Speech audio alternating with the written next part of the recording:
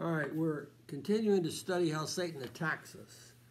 And remember last week we, we began this by re- reading Ephesians 6 10 to 14 and 2 Corinthians 10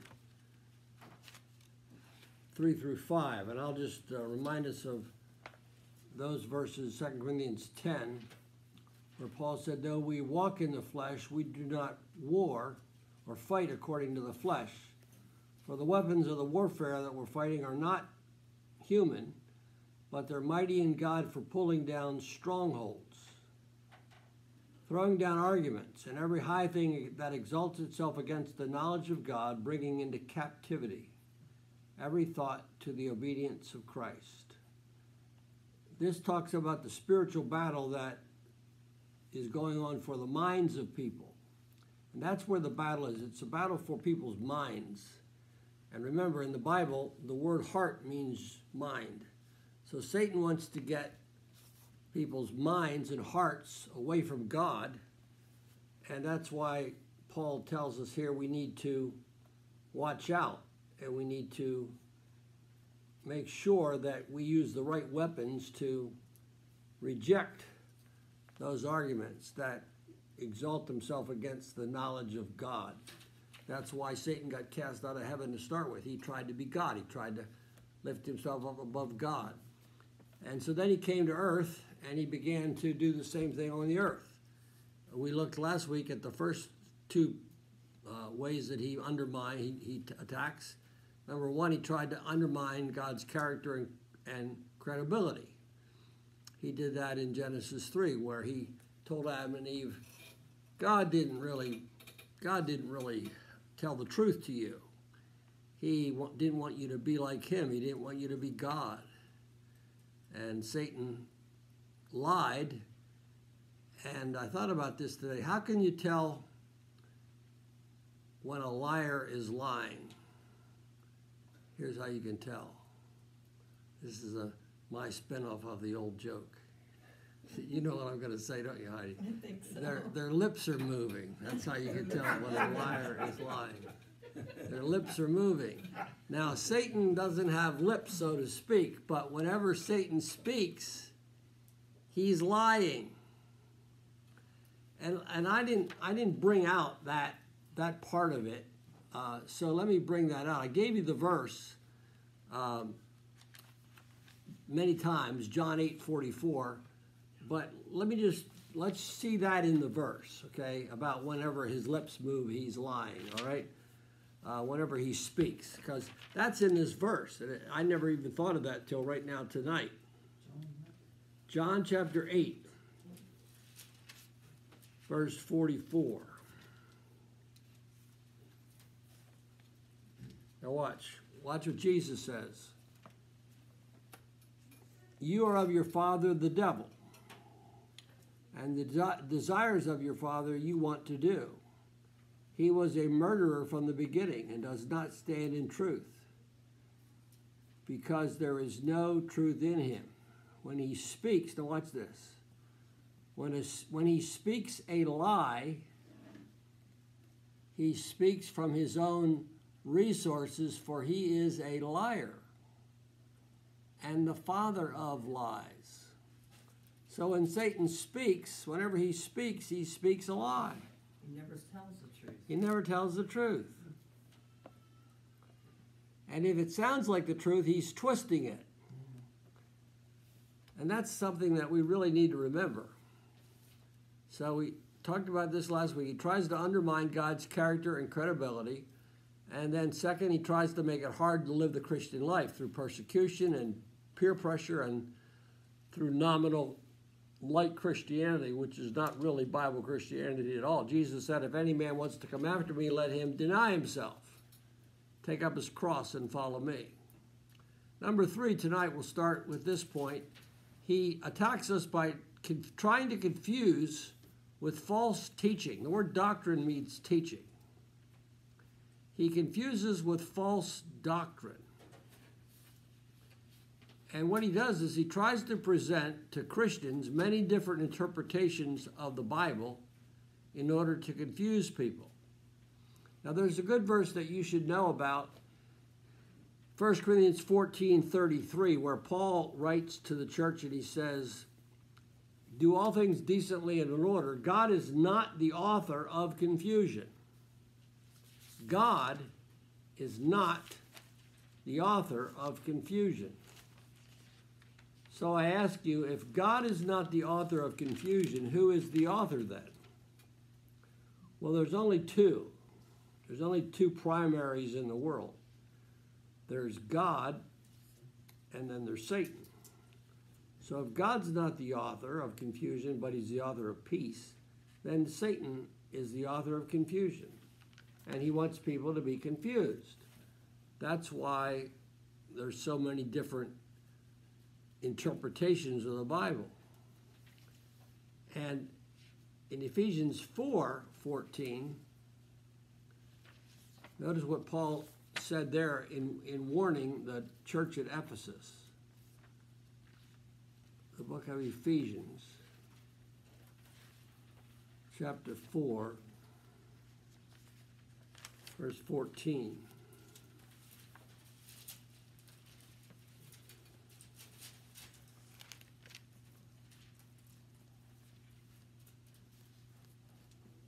Paul is speaking here about the job of the pastors and the teachers. So I'll go back to verse 12. He, he gave pastor teachers to the church for the equipping of the saints, for the work of the ministry, to build up the body of Christ, till we all come to the unity of the faith and the knowledge of the Son of God to a mature perfect, uh, the word perfect means mature individual, to the measure, now watch this, the measure that we have is the stature of the fullness of Christ. So we measure ourselves by Jesus, not by other people. And then look at verse 14. God's will is that we should no longer be children tossed to and fro and carried about with every wind of doctrine by the trickery of men and the cunning craftiness of deceitful plotting. So we're not supposed to be tossed about with every wind of doctrinal teaching by men's trickery. And that's what's going on today. People are getting all confused and all topsy turvy. And I think one of the reasons this is happening is because people don't know their Bibles. Because the word doctrine just means teaching, all right? That's what it means. Doctrine means teaching. So if you ask the average Christian today, what are some of the major teachings of the Bible? If they said that they're a born again believer, they would probably say, well, Jesus died on the cross for our sins and he rose again. And that's the gospel. That's, uh, that's right. But if you ask them some more deeper questions and say, that's good, now let's talk about some more teachings of the Bible. What does the Bible have to say about your sins and about your standing before Christ and your position? What does the Bible say about justification or sanctification? Now, I'm not suggesting that everybody needs to know those big words, but the problem is people don't even know what that's all about at all. And so it's very easy if they don't know anything besides the fact that Jesus died for your sins and you believe in him and you have eternal life. If that's all they know, they know enough to get to heaven. I understand that. Okay? You can you can repent of your sins and be saved by putting all your faith and trust in Jesus plus nothing. That'll get you to heaven. But that will not fortify you against false teachers who come along and say, well, we believe in Jesus too, but did you know that he's not really God? He is a God with a little g. And did you know that Jesus actually was the half brother to Satan? And that's what people are being told today by one of the huge, big false cults that a lot of people don't realize because it, it dresses itself up in Christian terminology. and it uh, has a huge big choir that you know people love, and they have wonderful music at the temple. See, but a lot of people don't realize that that that those doctrines are not in the Bible. And so it's easy for people to get led astray if they don't know what the Bible says about Jesus say, being God. And that's John 1 1, right? In the beginning was the Word, the Word was with God, and the Word was God. Now, that phrase word in John 1 1 means Jesus. That's talking about the Logos, Jesus. He's the Word, He's the living Word. And the Bible says He's God. The cults, and there's two big ones, they don't believe that Jesus is God. But to get Christians sucked in, they'll say He's a God with a little g. And if people don't know their Bibles, then they don't know any better. See? And it's really, it's a sad thing. It's insidious. And by the way, that's not all that's confusing people. They're, people are confused by many different false teachings. Uh, and let me show you in 2 Corinthians 11 that Satan has ministers today. Did you know that? Now, I can right away hear somebody, especially if they're listening to this online, say, Well, how do we know you're not one of Satan's ministers? And that's a good question. I don't take offense at that. Well, let me show you, all right? 2 Corinthians chapter 11. What does the Bible say about Satan having ministers? All right. 2 Corinthians chapter 11. And this is the, the point there under 3 where it says, false teachers come in sheep's clothing, all right? 2 Corinthians 11, 13 to 15. Paul says, and he's talking here about himself, he's contrasting himself and false apostles, all right? And he says, But what I do, I will continue to do. So I can cut off the opportunity from those who desire an opportunity to be like regarded like we are. In other words, to call themselves apostles. For such people, he says, are, watch this, false apostles, deceitful workers, transforming themselves into apostles of Christ. What he means is they are fake, they are counterfeit, they make themselves look like apostles of Christ. Now watch where they come from, the next verse. 2 Corinthians 11, 14. No wonder, for Satan himself transforms himself into a what? Angel. Angel of light. Satan transforms himself into an angel of light. Therefore, it's no great thing if his ministers also transform themselves into ministers of righteousness. Now, watch whose ministers they are. He says, his ministers. The his in verse 15 refers back to Satan.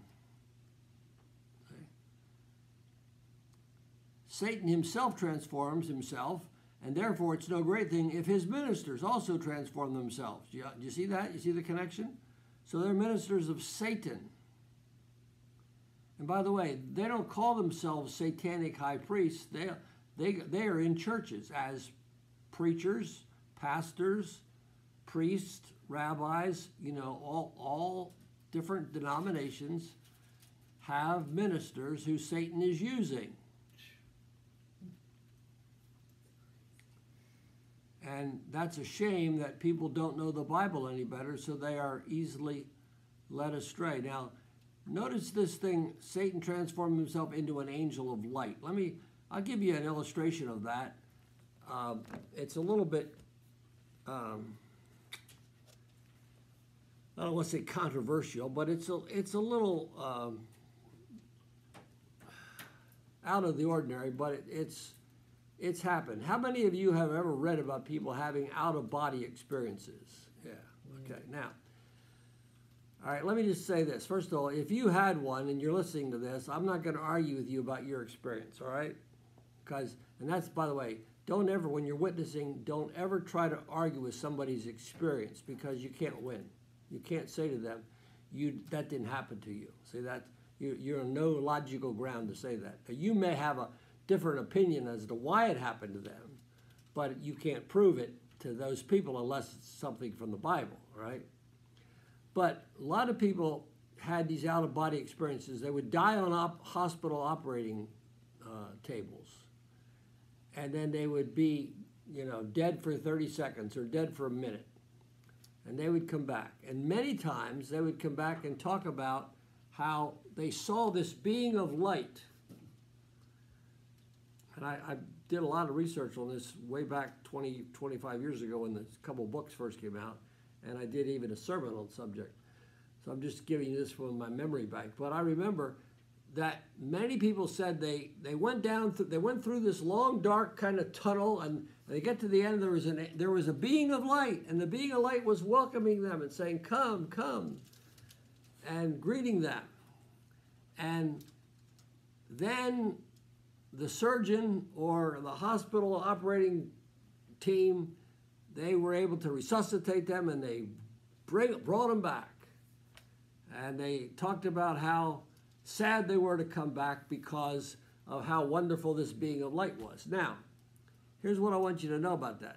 Some people say, well, that was Jesus, of course, because Jesus said, I am the light. Well, here's what you need to know in the research about these people. Now, this I'm not saying this is true of all the people that this happened to, but in many of the cases, the people said afterwards that what this caused them to do, this experience with seeing this being of light, caused them to number one, not be afraid of death anymore. And number two, it caused them just to want to be a better person and try to help people more. None of the people that I read about ever said it caused them to want to receive Jesus Christ as their personal Savior. All right? That, wasn't their experience. So to me, that's a, that's a uh, right on the nose illustration of Satan transforming himself into an angel of light. And by the way, it's not hard for him to do that because what was his name before he got kicked out of heaven? You remember Satan's name in heaven? He, he was the anointed cherub that covered the throne of God. And he was called he was called Lucifer, which means light bearer. Light bearer. Lucifer, the light bearer. I've always been skeptical. Lucis, Lucis is light. I do have an answer for someone who said they went to heaven and died. Yeah. John three thirteen. Paul Paul said that he was he was lifted up, but he didn't wasn't even allowed to speak of it. Is that what you're talking about? No, on John three thirteen, Jesus said, He's the only one that went to heaven, and no one goes to heaven and comes back again. Oh, okay. Yeah. And Paul said that he was caught up in the third heaven, but it, but God he was forbidden to say anything about it. He wasn't allowed to speak about it. See, so um, Satan is an angel of light where he needs to be, and he does that to deceive people, to keep people from believing in Jesus. Because look at look at back at 2 Corinthians four four. 2 Corinthians 4 4 says, If our gospel is hidden, verse 3, 2 Corinthians 4 3, if our gospel is hidden, it is hidden to those who are lost. Now, watch the next verse. Whose minds the God, there's a little g, the God of this age has blinded who do not believe, so that the light of the gospel of the glory of Christ, who is the image of God, should shine on them. So Satan blinds the minds of those who don't believe, so that the gospel, the light of the gospel, won't shine on them. That's his whole deal. His whole deal is keeping people from believing in Jesus Christ, keeping people from receiving the light of the gospel. And if he can use light to do it, he will. If he can use sin to do it, he will. He doesn't care what he uses. He'll use whatever works on individuals. And there's lots and lots of false doctrine, false teaching that we could, you know, talk about tonight, but, but time doesn't really permit me. But I had made a list here of, uh, of some of Satan's lies. I might do whole, another whole sermon just on this list. I got eight, eight lies here of Satan. No God, evolution, transgender, gay marriage, sex with anyone, any age, life begins at birth, not conception, relativity, man's his own boss, and there's no afterlife, so there's no accountability. All those are lies of Satan, aren't they? And a lot of people say that. A lot of people think, well, I was- there's no heaven, there's no hell. This this world's it. So just eat, drink, and be merry, because tomorrow we die, right? That's how a lot of people want to believe that, because they don't want to believe that they're going to have to stand before God and answer for their life someday. So he confuses with false doctrine. Number four, Satan also hinders. He tries to hinder our service to Christ. And you might wonder, well, does he really try to do that? Well, he actually, absolutely, he tries to do that. I didn't say he does it, but he tries to do it because he tried to do it with Jesus. Go back in your Bibles to Matthew chapter 4, please. And this is a chapter in the Gospel of Matthew that we know as the temptation of Jesus, the temptation of the Christ. Matthew chapter 4. He did it to try to get Jesus to not go to the cross. That was his purpose. And I'll pick it up. The Bible says after he fasted 40 days, he was hungry. So Jesus fasted 40 days and 40 nights. And the tempter came to him, verse 3. Verse 1 says he was led there to be tempted by the devil. And the Spirit led him into the wilderness, the Holy Spirit. Not the Spirit wasn't tempting him, but the devil was going to tempt him. So the tempter came to him and he said, verse 3, if, notice the if, if you are the Son of God, command that these stones become bread. Now, let me show you something. Jesus Christ answered the devil with scripture correctly correctly interpreted and spoken. Satan tried to tempt Jesus by misquoting, misinterpreting scripture. And, and that's what you have to be careful of because the devil can use the Bible, the misuse the Bible to try to get people off track. That's what he tried to do with Jesus here. Watch what he said. He said, Command these stones to become bread. Jesus answered, He said, It is written, Man shall not live by bread alone, but by every word that proceeds from the mouth of God. Then the devil took him up into the holy city, to the pinnacle of the temple, and said to him, If you are the Son of God. And notice each time he's casting aspersions on Jesus' deity. If you are the Son of God, throw yourself down, for it is written. Now watch this. Here he, gives, he quotes scripture. It is written, Satan said, He shall give his angels charge over you, and in their hands they'll bear you up lest you dash your foot against a stone. So there he misuses that scripture, and Jesus spoke back to him and said, It is written again, You shall not tempt the Lord your God. And then finally, the devil took him up on an exceedingly high mountain and showed him all the kingdoms of the world and their glory.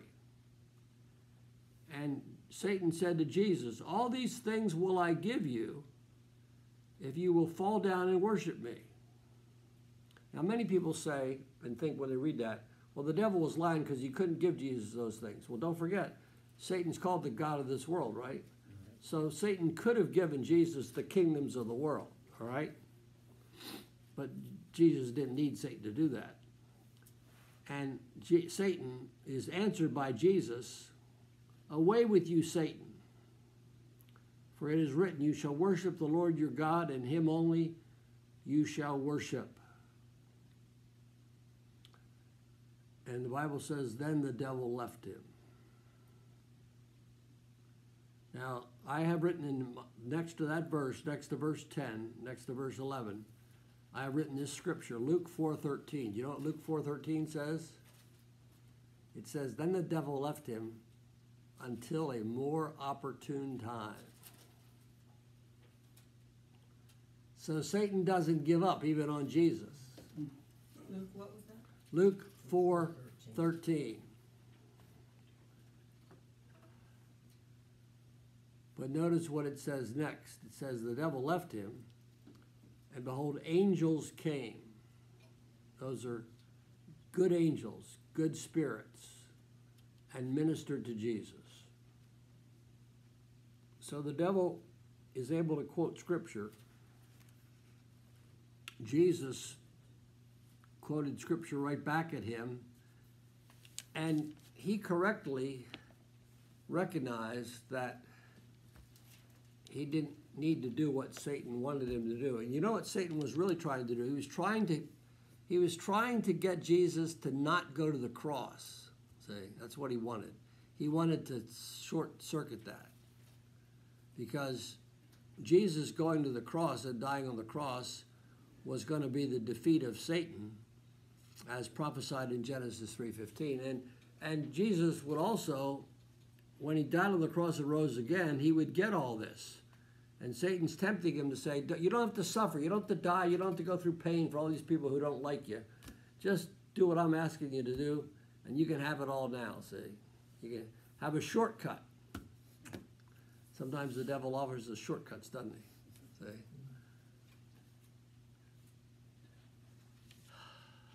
So he tried to hinder Jesus. Uh, how about Matthew 16 23? Matthew 16 23, and I only got three more minutes. Matthew 16 23, let me show you one more, one more scripture. And this, the Catholics aren't going to like this scripture, I'm sorry. Matthew 16 23 the people that are Roman Catholic, and I, I'm not knocking the Catholic Church out, I'm just trying to show you what the Bible says. And the Catholic Church says it believes the Bible, so, you know, uh, they, they of course say that Peter's the first pope, but Peter, Peter's not the first pope, all right? Here's how I know Peter was not the first pope. Peter was never a pope because notice in Matthew 16 23, Jesus told his disciples in verse 21 that he was going to go to Jerusalem and suffer many things and be killed and raised the third day. Peter took him aside and began to rebuke him. Notice what Peter did. He began to rebuke Jesus, saying, Oh, no, Lord, this will not happen to you. But Jesus turned and said to Peter, Get behind me. What's the next word? Satan. Get behind me, Satan. You are an offense to me, for you do not understand, you're not mindful of the things of God, but the things of men.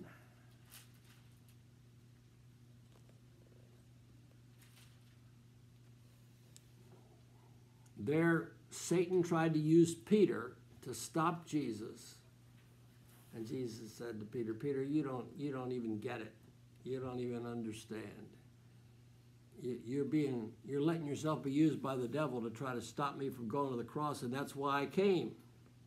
I came to this world. The son of man came to seek and save the lost. So jesus said to his disciples if anyone desires to come after me let him deny himself take up his cross and follow me any questions about either of those two instances matthew or uh, 4 or matthew 16 Now, we'll talk next week about how Satan tried to hinder Paul. And uh, we'll look at 1 Corinthians 16 9 and 1 Thessalonians 2 8. Then we'll get into the, to the uh, thorny subject of division in the church. Satan tries to cause division in the church. And it usually comes from all kinds of stupid things. You know that? Really. People argue about stupid things whether the carpet's going to be red or green. Things that are of no consequence. Now, here's what you need to, here, I'll, I'll close with this verse for you. James 4 7, and, and this is what Jesus did. He defeated the devil by doing this. James 4 7 says, Surrender yourself therefore to God, resist the devil. And Jesus resisted the devil with scripture, didn't he? He knew the Bible and he quoted it. And the last part of that verse says that he will flee from you. That's God's promise. So you don't have to be afraid of Satan's attacks, but you need to be prepared. You need to know God's word and be prepared to use it. All right, let's close with a word of prayer.